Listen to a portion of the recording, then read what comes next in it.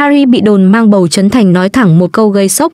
Gần đây, trong một buổi livestream trên trang cá nhân để giao lưu cùng khán giả Trấn Thành tiết lộ anh và bà xã Harry Won chưa muốn sinh con vì cảm thấy hai người vẫn còn trẻ và chưa hoàn thành những ước mơ của mình.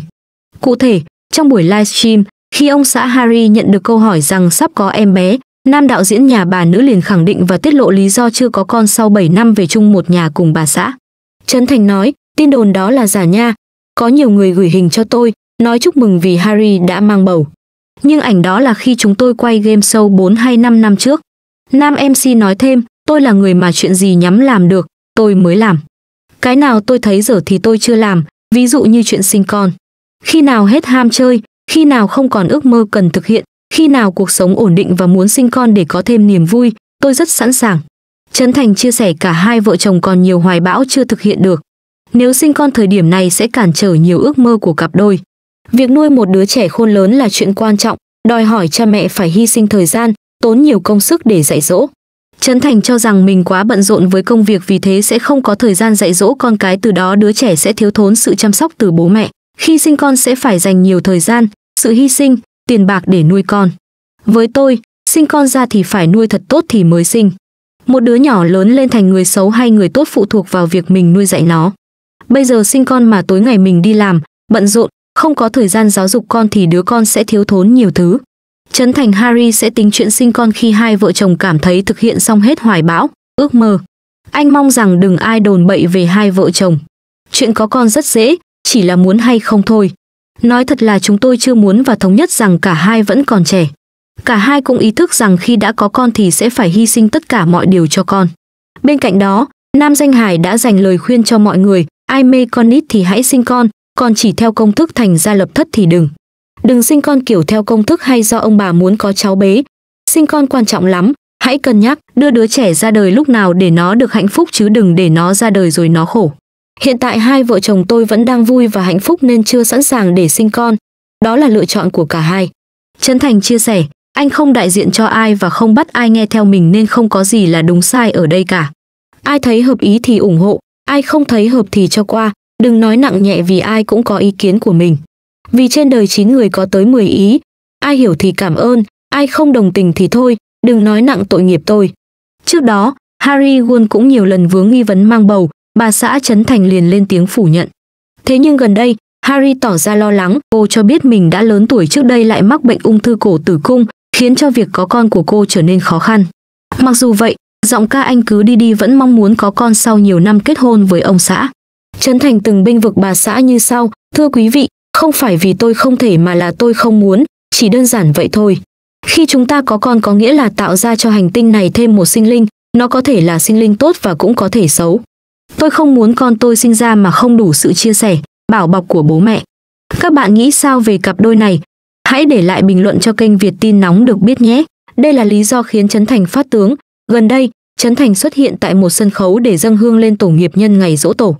Trong lúc trò chuyện với những đồng nghiệp như đạo diễn Lê Hoàng và diễn viên Quang Tuấn, đạo diễn nhà bà nữ bất ngờ tiết lộ lý do tăng cân của mình. Người ta bị stress, làm phim người ta stress chứ không phải là ăn lắm đâu. Không có ăn gì nhiều cả. Anh biện minh, thiệt là ngưng công việc xong phải ngủ, nghỉ bởi stress lắm. Được biết, Trấn Thành là một người rất yêu công việc, anh muốn sản phẩm nghệ thuật của anh phải toàn diện, chất lượng. Vì lẽ đó, Nam Danh hài bị stress cũng là điều đương nhiên. Trước đó trong lễ trao giải đạo diễn xuất sắc, bà xã Nam đạo diễn nhà bà nữ lên nhận giải dùm chồng và có tiết lộ bất ngờ, điều mà Trấn Thành thương nhất không phải là Harry mà là nghề nghiệp. Harry Won nói, em đã chứng kiến và em thấy anh ấy sống hết mình với nghề. Trong cuộc đời anh ấy, yêu thương nhất không phải là vợ mà là nghề nghiệp. Những gì liên quan đến nghệ thuật là anh ấy yêu thương nhất cho nên anh ấy dành thời gian, cố gắng, nỗ lực hết sức, giọng ca anh cứ đi đi nói thêm, em là người chứng kiến nên em biết. Thế nên em nhận giải sẽ không vui bằng anh ấy, anh ấy nhận giải sẽ còn có những điều xúc động hơn. Trấn Thành bất ngờ dằn mặt bà xã Harry vì điều này. Được biết cặp đôi Trấn Thành Harry Won không thường xuyên thổ lộ tình cảm cùng nhau trên mạng xã hội. Thế nhưng họ luôn âm thầm ủng hộ, hỗ trợ lẫn nhau trong công việc cũng như trong cuộc sống. Gần đây, đạo diễn nhà bà nữ đã đăng ảnh selfie lãng mạn bên cạnh bà xã. Tuy khung hình có hai người thế nhưng cư dân mạng đều dồn sự chú ý về visual xinh đẹp, dạng dỡ của Harry Won dù đang ở gần ngưỡng tuổi U40. Là người đăng ảnh, Trấn Thành lại để lộ biểu cảm nhăn nhó, dỗi hờn với nội dung bài viết kiểu sao bà heo trẻ hoài vậy ta. Tức ghê á. Được biết, Trấn Thành nhỏ hơn bà xã tận 2 tuổi, thế nhưng Harry Won được cho là hách tuổi và có phần trẻ trung hơn khi bên cạnh ông xã điển trai. Trước đó, Trấn Thành từng tiết lộ, tôi với Harry 7 năm yêu nhau, 6 năm lấy nhau thì mỗi một ngày của chúng tôi mở mắt ra là nụ cười, nhắm mắt lại cũng là nụ cười. Chúng tôi chưa gây lộn một ngày nào cả.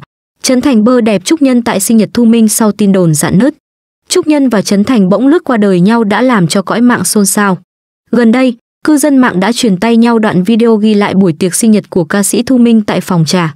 Là học trò cưng nhiều năm, Trúc Nhân đã thân thiết với Thu Minh từ lúc bắt đầu con đường ca hát, khi nữ ca sĩ đang biểu diễn. Trúc Nhân đã bất ngờ xuất hiện tại đêm nhạc cùng chiếc bánh sinh nhật trên tay để chúc mừng sinh nhật người thầy mến yêu của mình. Đáng chú ý, Trấn Thành cũng ngồi ngay bên dưới hàng ghế khán giả để ủng hộ cho giọng ca đường cong. Trấn Thành vẫn nhìn chằm chằm vào chiếc điện thoại, khi Trúc Nhân bước lên sân khấu, có vẻ như đạo diễn nhà bà nữ không bận tâm đến cuộc trò chuyện giữa Thu Minh và Trúc Nhân đang diễn ra trước mặt.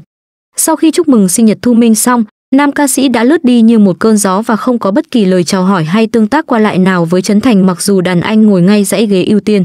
Trước đó Trấn Thành cũng có hành động đáng chú ý khi thấy Trúc Nhân đi ngang thế nhưng nam MC chỉ nhìn vào chiếc điện thoại.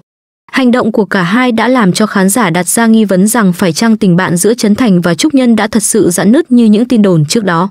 Trúc Nhân được biết đến là thành viên trong nhóm cờ cá ngựa. Tình bạn thắm thiết của bộ tứ này ở thời điểm đó làm cho nhiều người ngưỡng mộ và yêu mến. Thế nhưng, khán giả nhận thấy bỗng dưng Trúc Nhân mất hút khỏi các hội nhóm bạn bè của Trấn Thành, thậm chí cả hai cũng không tương tác cùng nhau trên mạng xã hội.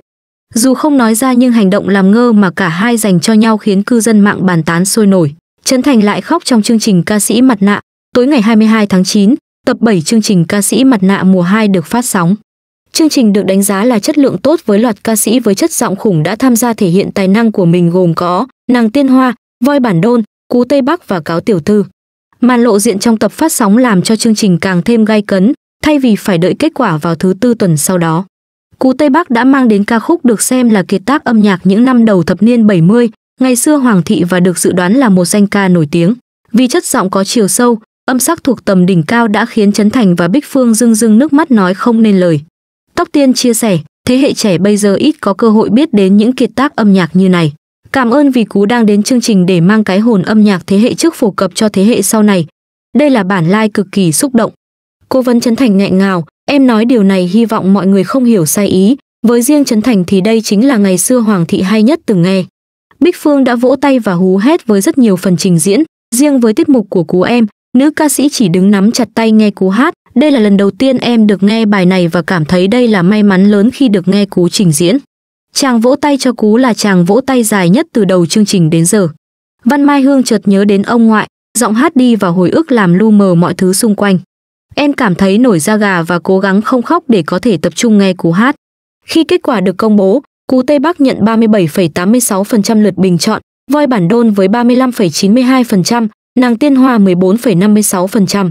Cáo tiểu thư 11,65% lượt bình chọn, như vậy cáo tiểu thư sẽ phải lộ diện tại tập 7 của chương trình.